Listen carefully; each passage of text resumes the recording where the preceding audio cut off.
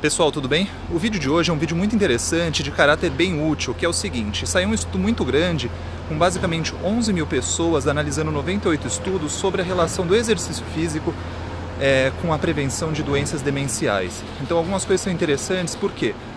Porque cada vez mais se valida a prática de exercício físico para prevenção e para melhora das funções cerebrais. Né? Mais interessante ainda é o seguinte, se nota que mesmo se a pessoa não fez a prática, não praticou exercício físico durante toda a vida, ela pode iniciar numa fase ali, numa meia idade avançada, numa terceira idade, mesmo assim colher benefícios, tá bom?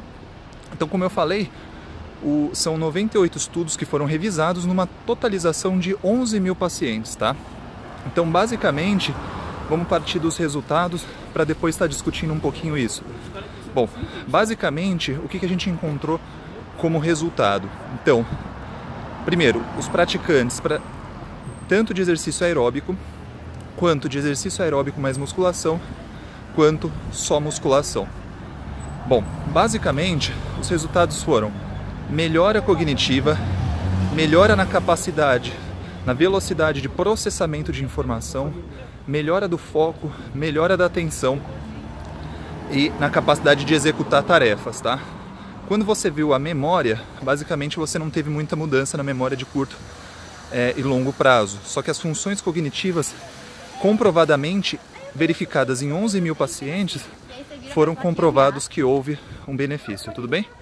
Bom, basicamente, algumas questões para serem discutidas. É, primeiro, 60% dos pacientes apresentavam, er, eram sedentários antes do estudo tá? Comprovando o que eu sempre falo, que vale muito a pena você começar a fazer exercício mesmo numa faixa etária mais elevada, tá? Outra questão é você notou benefício quando, quando, os pacientes se mantinham pelo menos 25 semanas em atividade física. Outra coisa importante da atividade física que é a constância. Então não adianta é, fazer curtos períodos. A frequência cardíaca média, calculando idade, era de 60 a 80% da frequência cardíaca máxima, calculando idade e sexo, tá? E, e outra questão, em questão de tempo semanal.